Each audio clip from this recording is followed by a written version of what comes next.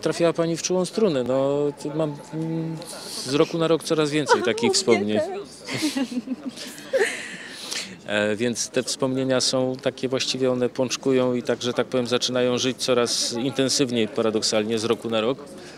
E, No, mam bardzo dużo. Ja, ja dopiero dzi- dzisiaj córka powiedziała, że jest Dzień Ojca jutro, ja sobie przypomniałem. E, A to aparat właśnie ciekawe, że Dzień Matki, że wszyscy o tym mówią i każdy ma w głowie kiedy to jest, a jeśli chodzi o Dzień Ojca, to jest takie zaskoczenie trochę.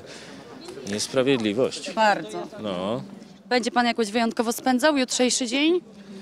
No myślę, że się zbierzemy ze, ze wszystkimi dziećmi, się nawalimy do upadłego po prostu, no normalnie, jak co roku.